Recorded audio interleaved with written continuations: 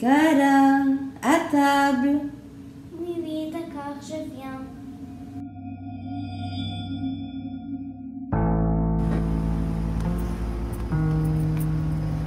Ma tante, elle euh, travaillait dans une entreprise où on vendait des téléphones et j'ai tout de suite voulu en acheter un.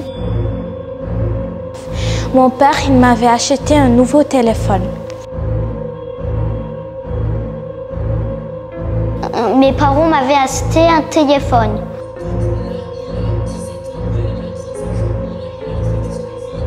Et c'était une vraie épidémie.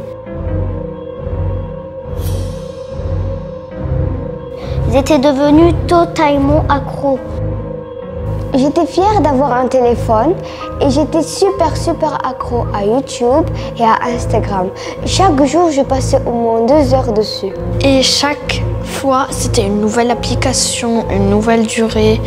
C'était vraiment, vra- vraiment incroyable. Ça fait exploser la tête. J'arrivais même plus à m'amuser avec mes amis. Je pensais sans cesse à mon téléphone qui me manquait tellement et que je me dis, mon père va plus m'en acheter, comment je vais résister sans iPhone?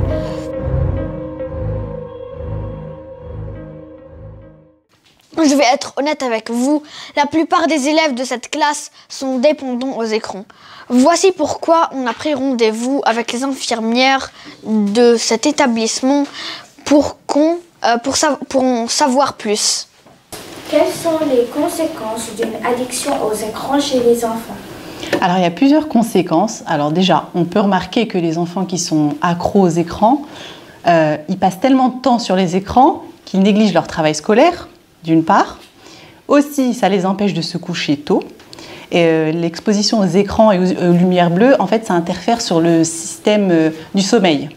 Ça fait qu'on a du mal à s'endormir le soir.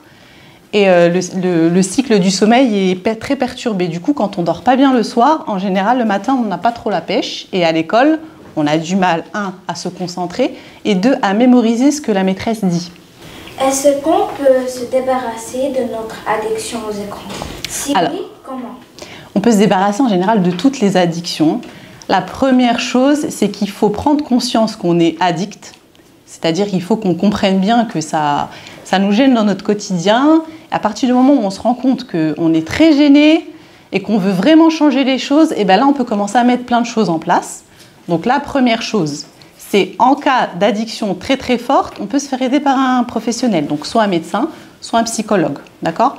Là, c'est au cas où vraiment l'addiction, elle est vraiment très très forte. Sinon, avec les parents, on peut commencer à instaurer des règles à la maison. Donc, par exemple, on limite le temps d'exposition par jour, ou alors même faire un test pour une journée en se disant, tiens, aujourd'hui, il y aura zéro minute devant l'écran. Donc, aucun écran, ni télévision, ni tablette, ni portable, ni jeux vidéo. Et là, voilà, vous verrez à ce moment-là si vous êtes vraiment, vraiment addict, si vraiment vous vous sentez mal et que vous n'êtes pas bien, vous pensez qu'à ça, c'est que vraiment là, vous êtes addict. On a décidé, toute la classe, de faire 24 heures sans écran, le samedi 7 mai 2022.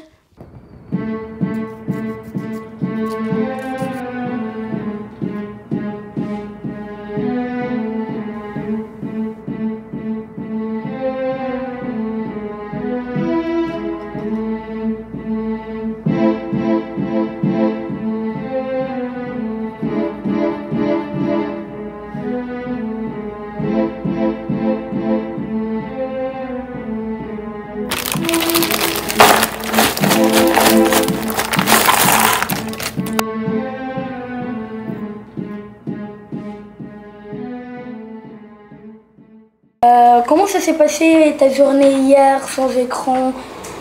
Bien, en fait, au réveil, quand je me suis réveillée, je voulais allumer la télé, mais je me suis souvenu que c'était une journée sans écran. T'as eu des difficultés de te séparer de ton écran? Un peu de difficulté parce que je voyais mon frère avec euh, un écran, je voyais mon papa, ma maman.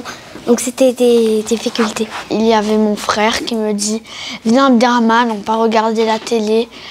Moi, je lui ai dit non, désolé, je peux pas. C'est la journée sans écran. Je me sentais vraiment étrange.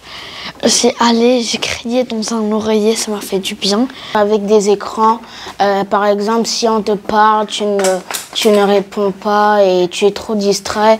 Je suis partie au jardin avec ma petite sœur et on a joué à cache-cache. Euh, j'ai pu faire des activités que je ne fais pas d'habitude. J'ai ressenti comme si je vivais dans un autre monde, mais pas un monde négatif, un monde positif.